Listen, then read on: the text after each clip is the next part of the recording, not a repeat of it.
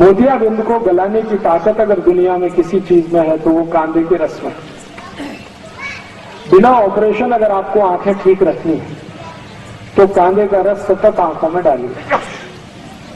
ज़िंदगी भर आप चाहते हैं कि आँखों को चश्मा ना चढ़े, और कभी भी आँखें आपकी खराब ना हो तो कांदे का रस आप अपनी आँखों में डालिए।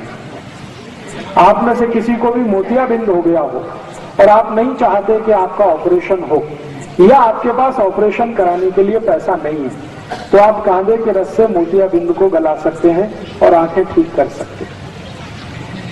इसको कितने दिन लेना है, कैसे लेना है, इसका सूत्र मैं बता देता हूँ, कागज़ पेन हो तो लिख लीजिए, क्योंकि ये बहुत काम आएगा।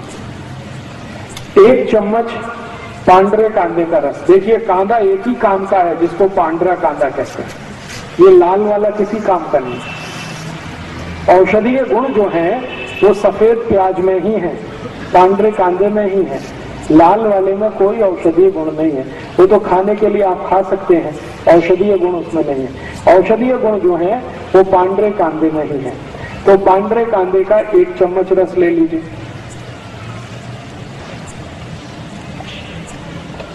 एक चम्मच इसमें नींबू का रस मिला दीजिए।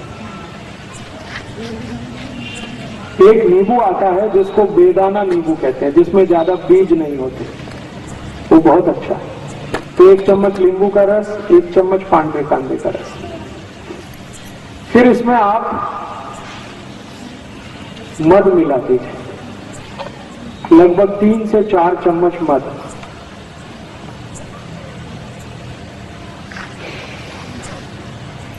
और इसी में एक चम्मच गुलाब जल मिला दीजिए। ये चारों को मिलाकर एक बाटली में भर के रख लीजिए और खूब अच्छे से हिलाकर एक एक थेम आँख में डालिए। एक महीने लगातार डाल दिया तो मोतियाबिंद आपका कट के निकल जाएगा गुलाब जल एक चम्मच। जितना आपका कांदे का रस, उतना ही गुलाब जल। उतना ही नींबू का रस। लेकिन मध इसमें तीन से चार फुट जाती मैंने तीन से चार चम्मच मध। अब ये जो सोल्यूशन तैयार हुआ है इसको बाटली में भर के रखेंगे। चार पाँच महीने ये खराब नहीं होता। इसको रूम टेम्परेचर पे भी रखा जा सकता है। ज़रूरी नहीं है कि हमेशा इसको फ्रिज में रखना। खाली सीधे रूम टेम्परेचर पे रख के रात में सोते समय एक एक दो दो थेम आँख में डालते रहिए। एक सवा महीने के बाद आपका मोतियाबिंद कर, खत्म कर देगा। और एक बीमारी है आँखों की जिसको ग्लूकोमा कहते हैं। ग्लूकोमा। ग्लूकोमा माने काला पानी। आँखों में हमेशा काला काला दिखता है और कुछ दिखता ही नहीं। उनकी भी ये सबसे अच्छी औषध। और एक बीमारी है आँखों में, जिसको रेटिनल डिटेचमेंट कहते हैं।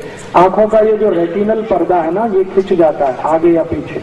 उसमें भी ये सबसे अच्छा काम आता है। फिर मैंने एक और एक्सपेरिमेंट किया। मेरे पास कुछ छोटे बच्चे हैं जिनको चश्मे हैं आँखों पर। अब उनके माँ बाप बहुत परेशान है कि ये चश्मा कैसे उतरे?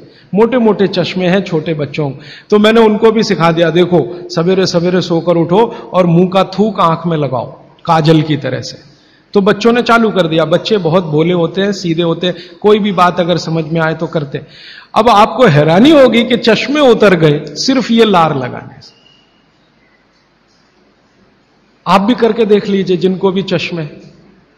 बस अंतर इतना है कि बच्चों को जल्दी उतरे, आपको थोड़ा देर में उतरेंगे, लेकिन उतर जाएँगे। उम्र ज़्यादा बढ़ेगी तो थोड़ा दिन करना पड़ेगा, कम उम्र में बहुत जल्दी उतर जाए। आँखों की रोशनी बढ़ानी है तो मुँह की लार सुबह सुबह की आँखों में लगाइए काजल की तरह से। और एक बताता हूँ, एक बीमारी आती है जिसको हम कहते हैं कंजक्टिवाइटिस आँखों की बीमारी है। अक्सर उसमें आँखें लाल हो जाती हैं, आँखों में बहुत जलन होती है, जैसे खून उतर आया हो आँखों में, वो कंडीशन हो जाती है। कोई भी आयुर्वेद की दवा आप खाएँगे, तीन से चार दिन में ही बीमारी ठीक होती है। लेकिन अब की बार अगर ये बीमारी आए तो आप ये करना सुबह सुबह उठते ही मुँह की लार लगाना 24 घंटे के बाद आपको पता ही नहीं चलेगा बीमारी कहाँ गई। 24 घंटे में ही ठीक होता है।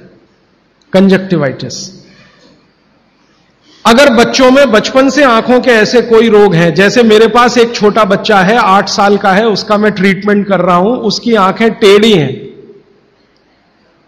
वो देखता कहीं है और दिखता कहीं है उसको, ऐसा है। अब उसके माता पिता गरीब हैं और वो ऑपरेशन का खर्चा नहीं उठा सकते। उस बच्चे पर मैं यही एक्सपेरिमेंट कर रहा हूँ। लगभग मुझे चार, साढ़े चार महीना हो गया है और उसका टेढ़ापन, जिसको हम लोग हिंदी में कहते हैं, भेंगापन उसका भेंगापन लगातार कम हो रहा है और आँखों की पुतलियाँ बिल्कुल बीच में सेट हो रही। तब मुझे थोड़ी जिज्ञासा हुई और मैंने एक बहुत बड़े वैज्ञानिक को पूछा दिल्ली में कि ये लार में क्या है? एक्चुअली इसका एक्टिव इंग्रेडिएंट क्या है? तो उन्होंने कहा, भैया, जितने एक्टिव इंग्रेडिएंट मिट्टी में है, वो सब लार में है। तो मैंने आपको बताया, मिट्टी में 18 एक्टिव इंग्रेडिएंट्स हैं, लार में वो सब के सब हैं।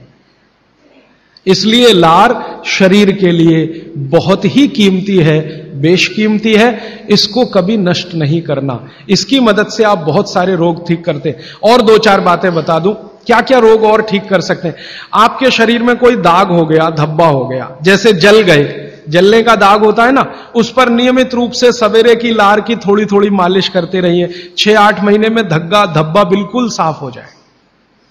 जले हुए का धब्बा। शरीर में और कोई ऐसा अंग में सफ़ेद दाग दिख रहा है, या काला दाग हो गया, या फलाना हो गया, या ढिमाका हो गया एक्जिमा हो गया, मान लो, खराब बीमारी की बात करूँ एक्जिमा हो गया। एक्जिमा पे रोज सुबह की लार लगाइए, मालिश करते रहिए, छह आठ महीने के बाद देखिएगा साफ़। और एक्जिमा से भी ज़्यादा खराब बीमारी है, सोराइसिस, वो भी ठीक होती है, इसी लार से। बस इतना है कि साल भर करना पड़े। मुफ़्त का इलाज है, फोकट का इलाज। बागवट जी ने जितने भी इलाज बताए हैं, सब फोकट के और मुफ़्त के। बाहर जाने की ज़रूरत ही नहीं है।